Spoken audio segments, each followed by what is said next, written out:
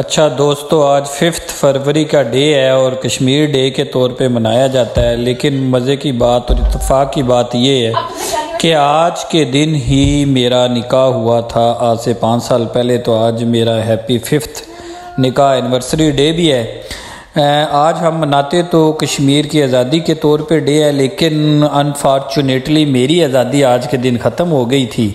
और अब आपके सामने है जी कि शादीशुदा बंदे की क्या आज़ादी होती है? अब ये अब देखें, मनाएँ जी happy happy happy anniversary day सब लोगों की तरफ़ से हमें हैप्पी एनिवर्सरी डे जी। ये हमारी मोमबत्ती भी बुझ गई है और ये हमने केक के दो टोटे दरमियान में से कर दिए हैं। आज हमने कहा जी कि अपनी फिफ्थ एनिवर्सरी डे मनाई जाए, क्योंकि आज फिफ्थ फरवरी को हमारा निकाह हुआ था। और मेरी तो आज़ादी मुक गई सी।